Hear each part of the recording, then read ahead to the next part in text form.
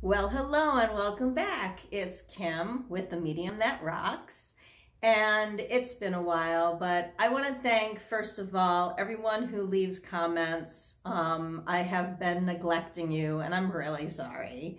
Um, I've been really busy. I'm moving into a new space here, and as you may see from the background, I'm going to change things around because that's what I do. Um, I don't know if things will ever be the same.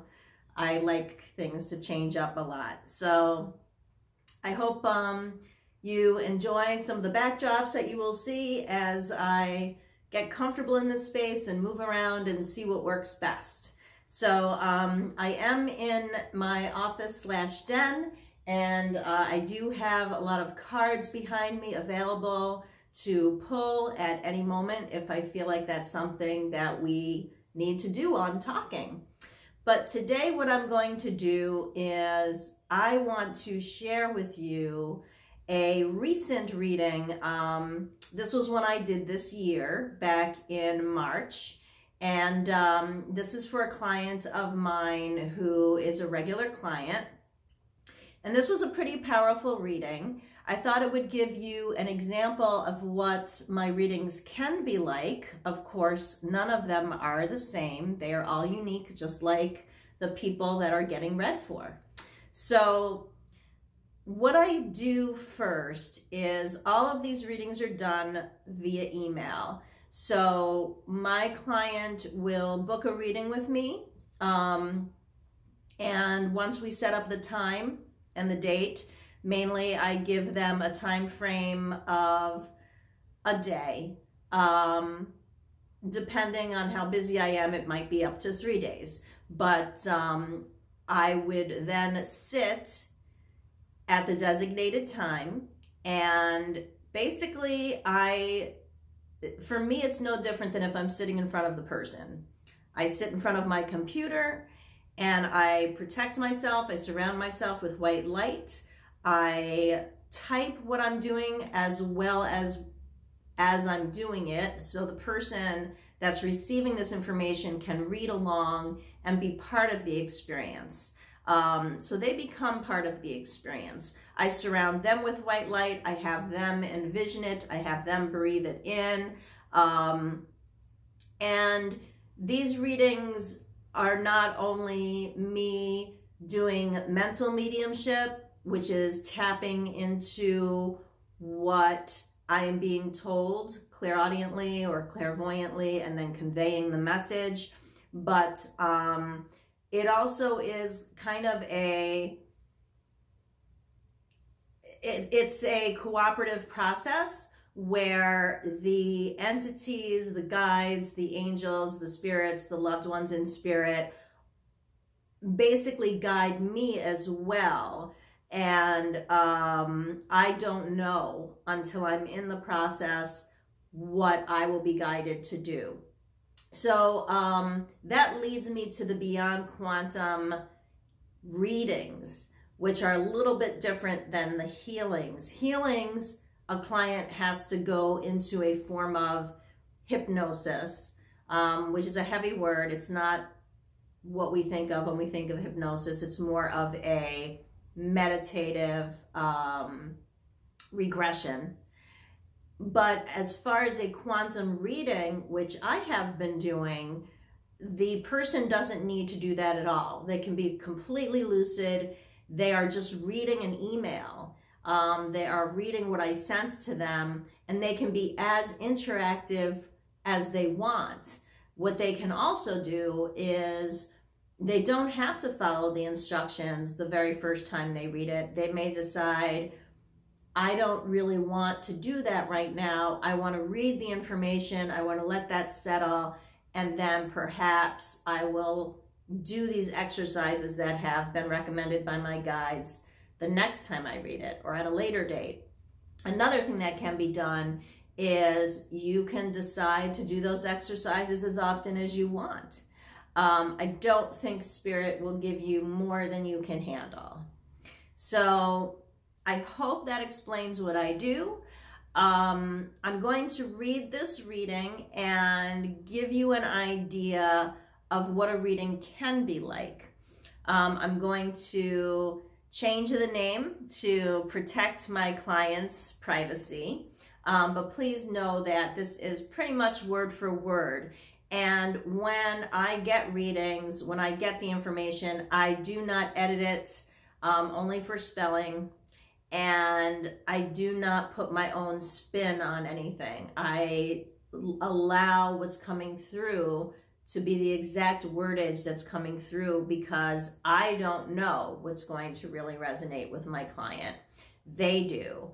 So I step away from that process and I just allow what comes, what flows to flow. So I'm going to read this. Um, many of my readings are bought for people for their birthday. Um, and I really love this. I actually have two families um, that have me give readings for their family members every year on their birthdays. And I think that's a wonderful thing. Um, because my readings are emailed readings, one family prints those readings and puts them in an album.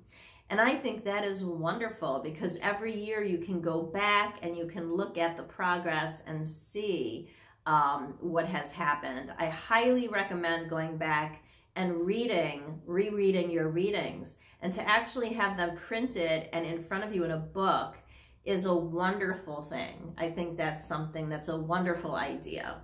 So with that said, I'm going to read this. I don't want this to be too long. So this was a birthday reading. Um, it was a gift. And so I'm just going to read it as I gave it. Happy birthday. At this time, close your eyes with me and take in a nice deep breath. As you breathe in, imagine the breath coming in as white light. The light is cleansing, renewing, revitalizing, and regenerating. Through this light, we are healed, cleansed, and all negativity is released. See the light come into your body as you breathe out. See the light move throughout your entire body and notice where the areas of darkness or areas that you seem stuck or blocked. Focus on these areas and send this light. See these areas now get flushed with light.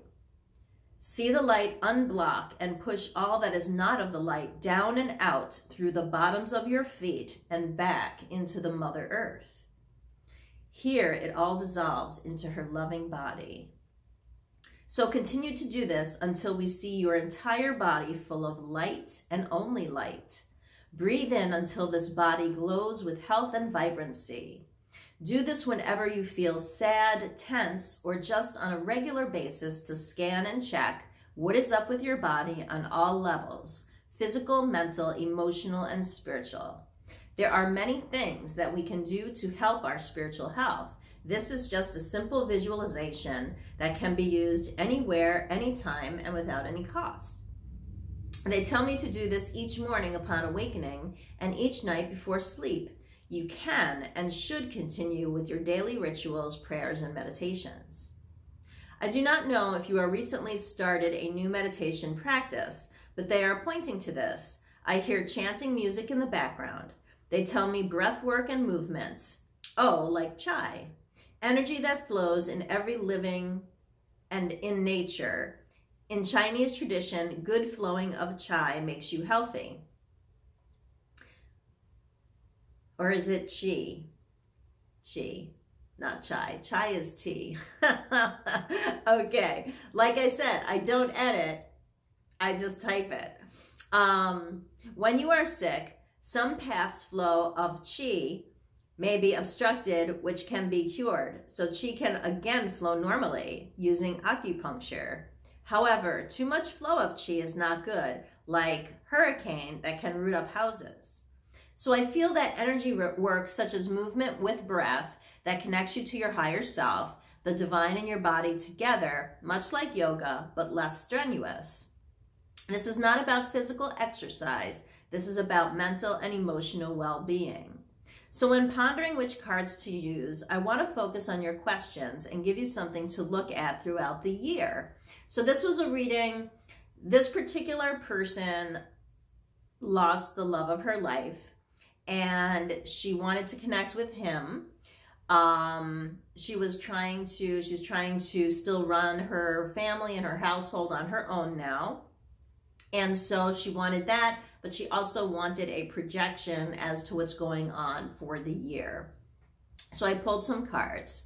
Um, each of these cards I use are themes with herbs and flowers, and I'm calling upon the oracles and tarot to bring forward that which is most needed for you to hear today and which you can refer to in the days and weeks to come with reflection and clarity. So the first card I got, I pulled from Vintage Wisdom, and it was playfulness. And I'm not going to go into everything because I basically read the card. But um, the key line was we don't stop playing because we grow old. We grow old because we stop playing. And the next one was Botanical Inspirations. And the card that came up was Sweet William. And William is the name of her partner who passed. So, um, Sweet William, grant me a single smile.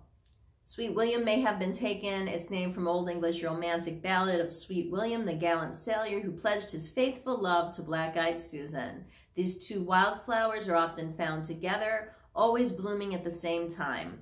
Others believe that the flowers moniker was actually inspired by William Shakespeare.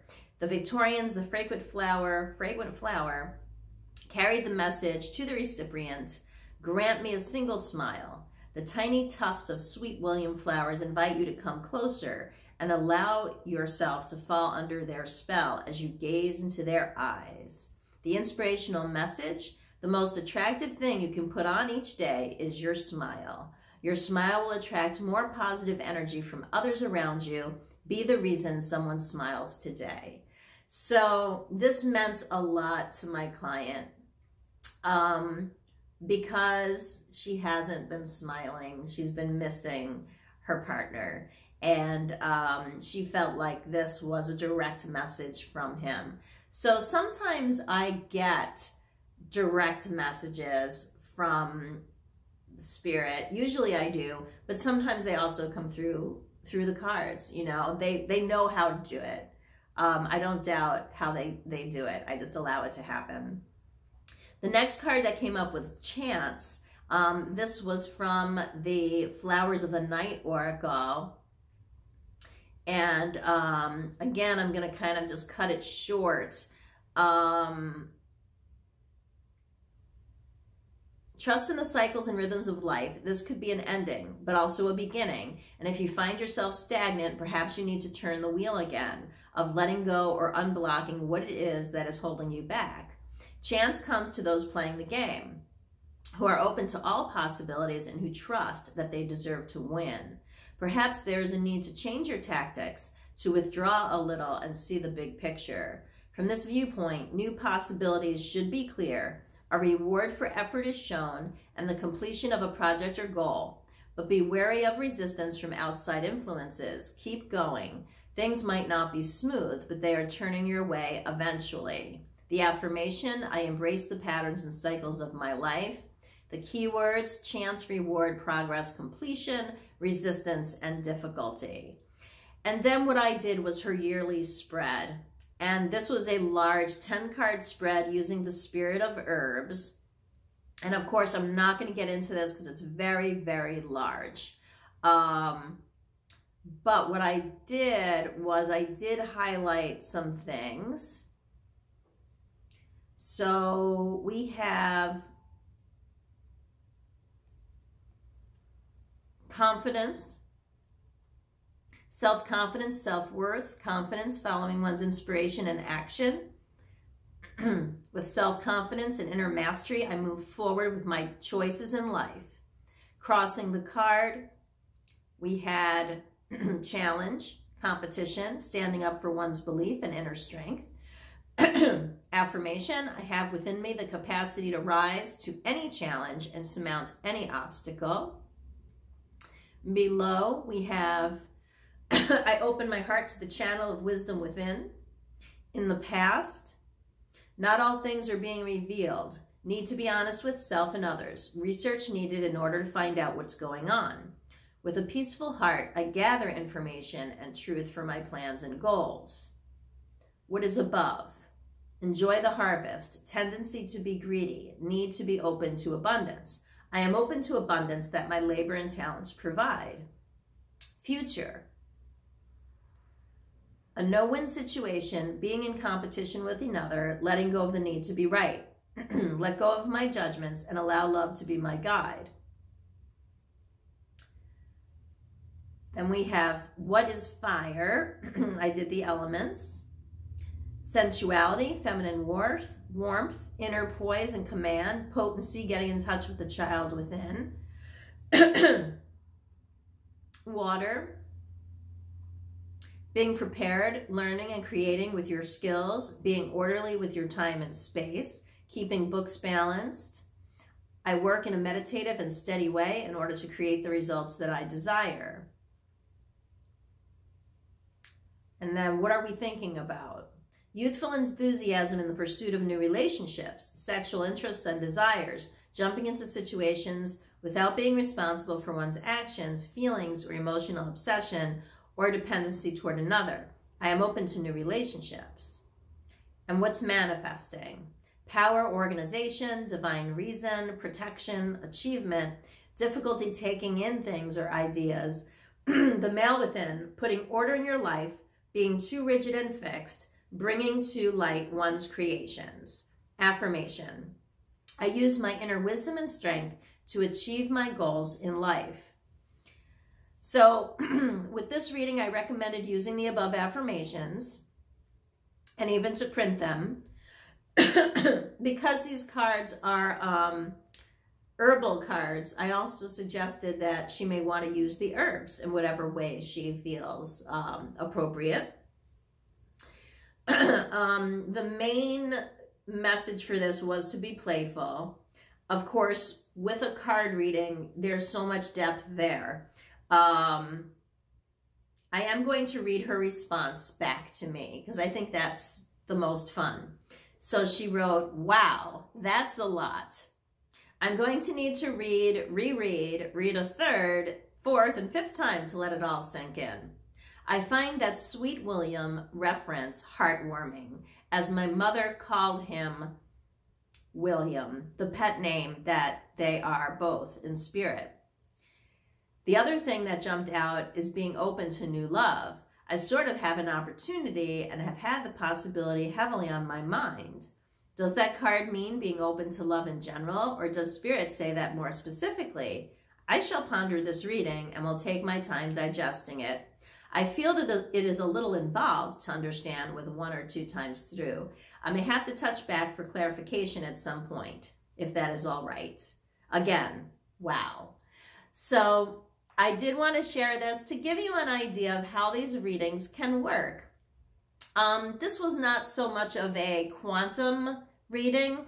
This was more of a mediumship with cards reading. This really did dig deep with cards.